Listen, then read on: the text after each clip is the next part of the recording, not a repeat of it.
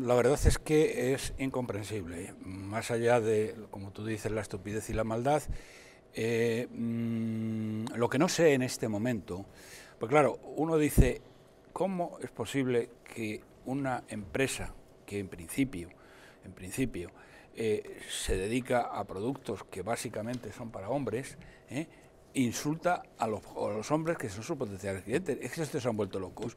Entonces yo ahora mismo no sé, no lo sé, eh, y, lo comprobaré el próximo día, si cuáles son las líneas de negocio de Gillette.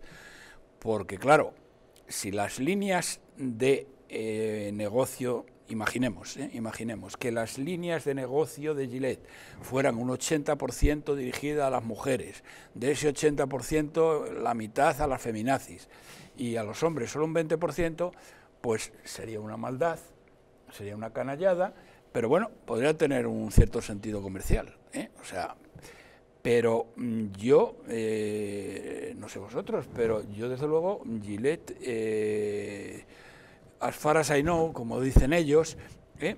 Mm, se dedica básicamente a, lo del hombre y entonces no sé qué es sorprendente no no es absolutamente sorprendente no se puede entender no se puede entender desde luego yo me gustaría decir que ya no voy a comprar Gillette es que yo hace ya mucho tiempo utilizo otro tipo de crema ¿eh? ¿eh? Eh, diferente, la Nostema, que es probablemente la mejor que hay en el mercado, y luego y otro tipo de maquinillas que no son las de Gillette.